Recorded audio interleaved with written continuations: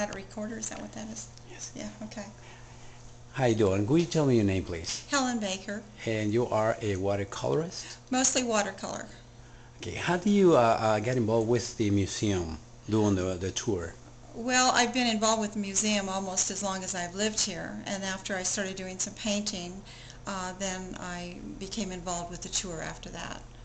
How, when is this um, a tour take place? Which month? It takes place in October. It's so far has been the last weekend of October, and this is a 10-year anniversary this year. Okay. Do you have any pieces at the museum right now? One piece. We uh, each of the people on the tour have one piece showing at the museum.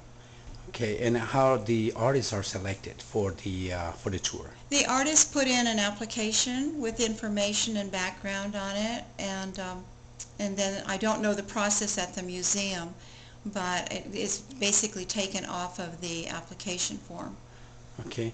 Uh, do you study watercolor? I take a class from Nancy Crawford, and I've taken a few classes from uh, other artists that come here particularly, and then uh, some things at the junior college and high school adult education. Okay. And uh, you want to talk about one of your art pieces? Um, well, this one's a little different. This is on Yupo paper, which is very slick. And so when you put the paint on it, it moves around some. You don't have as much control, but you also get some nice loose kinds of paintings with it. Okay. Thank you very much for your time. Mhm.